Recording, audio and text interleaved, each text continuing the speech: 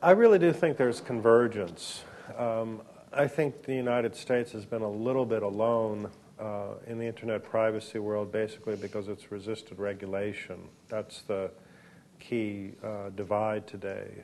Um, most of the world does, in fact, have some kind of privacy law in place. Now, you can argue about the, the effectiveness of those laws, um, but the U.S. has generally favored a self uh, regulatory approach. It's, you know, it's possible. I mean, I could imagine a couple of years from now a real showdown between the United States and Europe. Um, Google Street View, for example, has really set off some very sharp debate among a lot of uh, the European countries uh, because, particularly in Europe, it seems obvious that a company does not have the right to go down the street and take you know, images of your house or you standing in front of your house without your permission. Um, and, uh, you know, they're saying that uh, this activity really needs to stop. In the U.S., it's been less of a concern.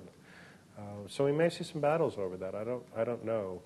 Um, but I think, as I said at the beginning, that the challenges we're facing look so similar. You know, whether you're here or in Europe or you know in Asia or really anywhere else, I, I think the likelihood that we'll find some common approaches is pretty high.